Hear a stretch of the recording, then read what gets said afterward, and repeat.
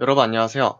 오늘은 검은색 선을 따라가는 코딩 방법에 대해서 설명드리도록 하겠습니다. 지금 여기 화면 앞에 보이시는 것처럼 하얀색 바탕에 검은색 선이 이렇게 주어져 있습니다. 그리고 로봇이 여기 앞에 있는 컬러 센서를 이용을 해서 이렇게 선을 조금씩 조금씩 검은색 선을 따라가면 되는데요. 이때 많은 분들이 line tracing을 하실 때 이 검은색 선에서 어떻게 따라가면 될까요? 라고 질문을 했을 때 대부분의 사람들은 그냥 보고 선을 보고 따라가면 되는 거 아니냐라고 하시는 분들이 상당히 많습니다. 하지만 지금 이렇게 그림에 나와 있는 것처럼 검은색 선에 빨간색 화살표처럼 이렇게 일자로 따라가는 방법은 사람의 눈처럼 여기가 검은색이고 다 빨간색이고를 구분할 수 있을 때입니다. 컬러 센서 같은 경우에는 우리 사람의 눈처럼 매우 정교한 색들을 구분하는 것이 아니라 그냥 센서 바로 앞에 어떤 색이 있는지를 판단할 수 있는 것일 뿐입니다. 그래서 컬러 센서를 이용을 해서 line tracing을 하실 때는 하얀색일 때는 어느 쪽 방향, 검은색일 때는 반대 방향 이런 식으로 움직이셔야 됩니다. 마지막에 있는 그림처럼 흰색일 때는 검은색 선을 향해 움직이셔야 되고 그다음 검은색에 있을 땐 하얀색 쪽으로 움직이고 또 다시 하얀색일 때는 다시 검은색으로 검은색일 땐 다시 하얀색으로 이렇게 움직이셔야 됩니다. 지금처럼 화살표는 지금 검은색 선 기준으로 왼쪽 경계선으로 이렇게 주어져 있습니다. 그것은 예시이기 때문에 여러분들이 하실 때는 그림에 나와 있는 것처럼 선의 왼쪽을 기준으로 하셔도 되고 선의 기준을 오른쪽으로 하셔서 코딩을 하셔도 상관은 없습니다. 결국 목적은 선을 따라가는 것이기 때문에 왼쪽이든 오른쪽이든 상관이 없습니다. 대신에 로봇의 위치가 많이 차이가 난다는 것만 기억을 해주시면 되겠습니다. 네, 이제 본격적으로 프로그램을 통해서 설명드리도록 하겠습니다. 저번 시간에 초음파 센서를 했었던 것처럼 line tracing도 똑같이 스위치 블록을 하나 꺼내주셔서 이 스위치 블록의 조건을 컬러 센서 비교 반사광으로 바꿔주시면 이렇게 측정 값을 할 수 있게 나옵니다. 그래서 로봇의 port view를 보시게 되면 네, 지금 흰색 바탕을 찍고 있을 때 컬러 센서의 반사광은 77이 나옵니다. 그래서 77 더하기 그리고 검은색을 인식을 할 때 센서를 검은색으로 했을 때 센서 값은 4 정도가 나옵니다. 그래서 4를 더해 주시면 81 그래서 경계 값은 이것의 평균이기 때문에 나누기 2를 해주시면 약 40.5가 나오게 됩니다. 그래서 이 경계 값에 아까 구했던 40.5를 입력을 해주시고 부등호가 보다 작음이기 때문에 위쪽이 검은색 그리고 아래쪽이 하얀색일 때의 움직임이 되는 것입니다. 조향 블록이나 혹은 탱크 블록을 가지고 오셔서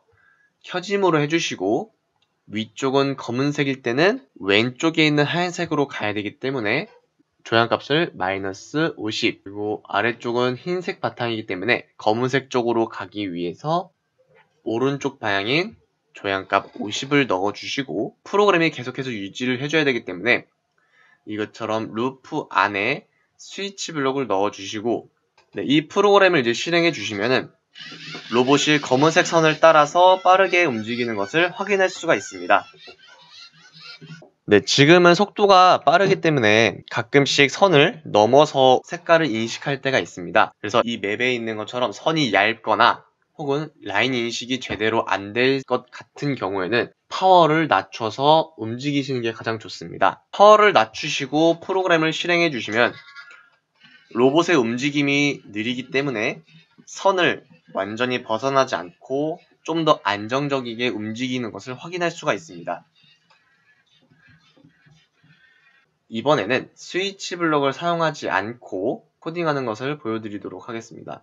스위치 블록을 쓰지 않을 때는 이렇게 대기 블록을 하나 가지고 오신 다음에 이 대기 블록을 똑같이 컬러 센서, 비교 반사광, 그리고 여기 경계값을 40.5 똑같이 해주시고요. 지금 대기 블록의 상태는 어두워졌을 때 다음 블록으로 넘어가라 이기 때문에 컬러 센서가 어두워졌을 때는 왼쪽으로 가야 되기 때문에 마이너스 50으로 똑같이 해주시고 이 검은색일 때 왼쪽으로 가야 되는 프로그램이 계속해서 반복해야 되니까 루프를 하나 이렇게 씌워주시고 그 다음 두 번째로 똑같이 대기 블록에 컬러 센서 비교 반사광 그리고 45.5 5를 입력해 주시고 첫 번째는 검은색일 때, 그러니까 이제 두 번째는 하얀색일 때 40.5보다 커질 때 로봇의 움직임은 오른쪽으로 움직이도록 입력을 해주시고 지금처럼 이 하얀색일 때의 움직임도 계속해서 움직여야 되니까 루프를 씌워주셔서 이 상태에서 두 개를 동시에 실행하게 오른쪽 하단에 있는 다운로드 및 실행을 클릭해 주시면 아까 스위치 블록에서 있었던 프로그램처럼 로봇이 검은색 선을 따라가는 것을 보실 수가 있습니다. 네, 코딩 방법에는 이런 식으로 다양한 방법을 사용을 해서 코딩을 할 수 있기 때문에 지금처럼 두 가지를 이용을 해서 설명을 드렸습니다. 이번에는 이 line tracing에 다른 센서들도 같이 사용할 때의 응용을 보여드리도록 하겠습니다. 아까 같은 경우에는 line tracing, 즉 컬러 센서 하나만 이용을 해서 라인을 이동했습니다. 그런데 아까처럼 계속해서 루프를 돌려주게 되다 보면은 앞쪽에 있는 벽이나 장애물이 있을 때 피하지 못하고 부딪히는 것을 확인할 수가 있습니다. 그래서 이번에는 여기 앞에 있는 초음파 센서를 이용을 해서 로봇 앞쪽에 물체나 벽이 가까워지면 여기 나와 있는 것처럼 10cm보다 가까워지면 로봇이 멈추게 되는 그런 코딩 방법을 보이도록 하겠습니다. 지금 여기 앞에 보이시는 그림처럼 검은색 선을 따라가다가 앞쪽에 물체가 이렇게 주어져 있을 때 이럴 때 로봇이 거리가 10cm보다 가까울 때 이 앞에서 멈추게 되는 것을 보여주도록 하겠습니다. 이쪽에 프로그램을 보시게 되면 아까 맨 처음에 라인 트레이싱을 하는 것처럼 프로그램을 작성을 해주신 다음 그다음 여기서 초음파 센서가 10cm보다 가까워질 때 멈춰야 된다. 즉 움직임이 없어져야 되기 때문에 1순위는 초음파 센서가 일어나게 됩니다. 즉 초음파 센서가 거리가 10cm보다 가까워지면 그리고 10cm보다 멀리 있을 때 이렇게 두 가지가 나눠지게 되는데요.